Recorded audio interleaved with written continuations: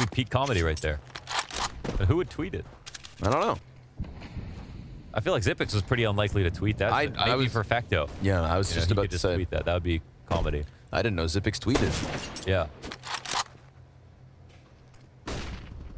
Twitter fingers have been hot at this event. It's Yes, made it sir. so much more fun. Okay, all right, all right, all right. I think that the player. Don't tell me that was was that Fallen going for the hinge smoke again? I feel like he's always getting bodied trying that. Mm, no, No. Okay. no. Oh wow. All right. Well, Simple's decided to be ruthless and have to. So that's gonna happen, huh? Yeah.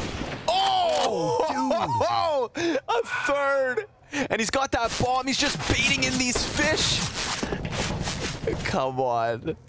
One more.